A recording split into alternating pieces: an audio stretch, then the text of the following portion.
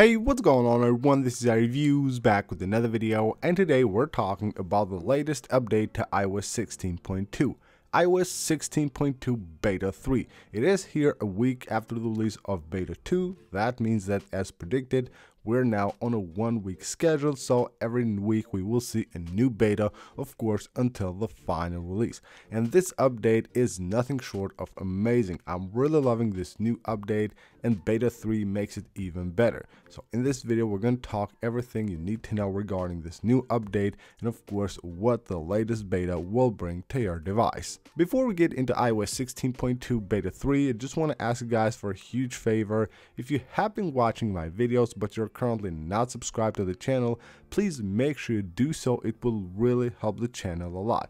And now let's get into iOS 16.2 Beta 3. Now, first of all, we're talking about the size of the update. Now, of course, as new betas get released, they will be smaller in size, and this one will come to your device at around 500 to 600 megabytes. That is of course always different on different devices and it will be different based on which software you have currently installed on your device. But right here on the iPhone 14 Pro Max it came at around 600 megabytes. And the new build number for iOS 16.2 Beta 3 it is 20C5049E. This is the latest build number for the latest beta that Apple has released for iOS 16.2. And now let's get into the good stuff, the new features and changes that this update will bring to your device and we're talking specifically about beta 3. First of all, on shortcuts, you won't find get battery level anymore. Now you will find get battery status and it will bring way more than previously. I will have here way more things here describing what this does but even if you use this so you tap there you can see now it says get battery level but it won't do just that it won't just get the battery level but if you tap there now you can switch to other things like is charging is connected to a charger or ask each time or shortcut input so this won't just do the battery level it will also tell you if it's charging and if it is connected to the charger. This is a great new update that apple has added to this action on shortcuts. Now with the release of iOS 16.2, you probably know that Apple has added a new feature that will let you turn off the hide IP address feature for any specific website and you can actually do that straight from the AA menu on Safari. But now with beta 3, unfortunately I don't have that feature here because you will need to have private relay enabled to have that feature. Now it has changed the wording, now it says just show IP address and also they have added a new glyph icon for that action. A new change has been made on the settings app as well. So previously when you went to Siri and search and went here to Siri responses, you will have prefer silent responses. This has been added with iOS 16.2, but now with beta 3, they have added this under accessibility as well. So if you go to accessibility and you find here Siri. Now you will have right here spoken responses so you will have this option under the accessibility settings as well. So basically if you prefer Siri not to speak you can just go ahead and choose prefer spoken responses and it will give you spoken responses every time unless you're connected to your car then it will give you spoken responses now Apple is making a lot of changes to the features that they have added previously with iOS 16.2 and one of them is under TV here. If you go to TV and go to live activities, you have now the option for more frequent updates.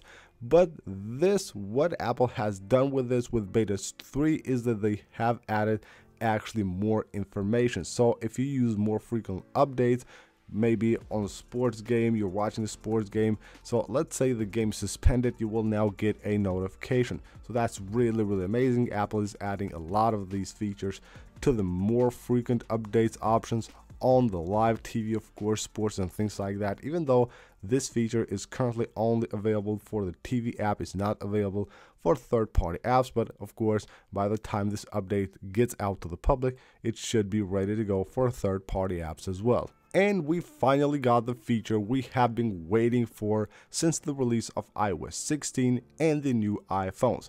The always on display without a wallpaper in the background. You can see how cool this looks. You no longer have to have the wallpaper in the background. Of course, when you tap, you will see everything. When it goes to sleep, you just see the clock and the widgets that you have. Now, this is of course an option now with iOS 16.2. If you head on to your settings, you will have new options for the always on display. So head on to display and brightness and right here under always on display, now you have the option to show the wallpapers and show or not notifications. So previously, of course, we had the wallpaper, it was just dimmed in the background. Now you can absolutely turn it off from here. You can even turn off notifications. So on the always on display, the only thing you will see is of course only the clock and the widgets that you have on your display. This is really amazing. Probably it should have been like this since the release of iOS 16 and the new devices, but fortunately we finally got this feature and it actually looks really really good. I really like the way they did this as it makes the lock screen look way way better than having the dimmed wallpaper in the background. Now another thing you will notice is that if you have a focus attached to one of your lock screens as it shows here. When you turn off show notifications, you can see it will also hide the focus mode that you have turned on. And of course, the clock and the widgets, if you have them customized and you have a custom color on them, they will show here the custom color. And here we have some more features that have been added to iOS 16.2, but we didn't have a chance to talk about them. These have been added on iOS 16.2 Beta 2. First of all, you will get now more markup tools. So these are the more markup tools that we get, of course, but if you swipe like this, you will find that there's actually more that you can use from the markup tool section. If you have added a wallpaper to your lock screen and you cannot find that wallpaper on your Photos library with iOS 16.2, that can be done pretty easily. Go to customize your lock screen, tap on the three dots, and you will have the option to actually show that wallpaper on the photo library. Another feature that Apple has added to iPhones, not just iOS 16.2 but 16.1 and newer of course, is the new option for the satellite call and that is available right now on the USA. So that of course was a server based update. They released that without having to update the software. But if you live in USA, you can now just head on to your settings app, go under emergency and SOS and right here you will find a demo which will actually show you how to use emergency SOS calling via satellite. And now let's move on to the performance. Now here we have the Geekbench score for iOS 16.2 Beta 3. So a quick comparison here to Beta 2. So here we have the single core score 1866. 1886 was on iOS 16.2 Beta 2, a slight decrease there, while we also have a slight increase on the multi-core score.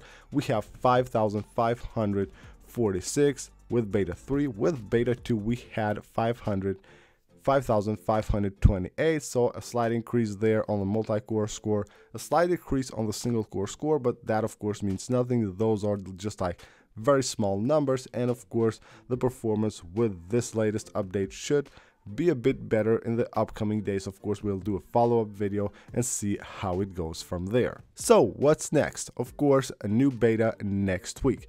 Now that Apple is on a weekly schedule of releasing betas for iOS 16.2, you can expect a new beta most likely on November 22nd, right here, and then of course another one on the 29th. And I'm expecting Apple to actually release the RC version of this software somewhere around the first week of December maybe even on the second week, but you should expect Apple to actually release this by mid-December, this update to the public by mid-December. So before that, we will of course have another two or three betas and the RC version. And finally, let's talk about whether you should update or not to this software.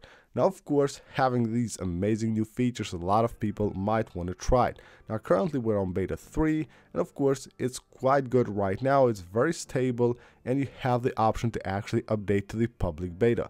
So if you just want to try out the new features and you cannot wait for the public release for another few weeks, then you can go ahead and just update to the public beta. I think it's safe enough, but Again, if you just don't want to risk anything and you have only one device, which is your daily device, maybe it's a better idea to wait for a few more weeks. So that's basically it for this video guys. Thank you guys for watching the videos. Don't forget to subscribe for more and leave a like on this one. I'll see you on the next video.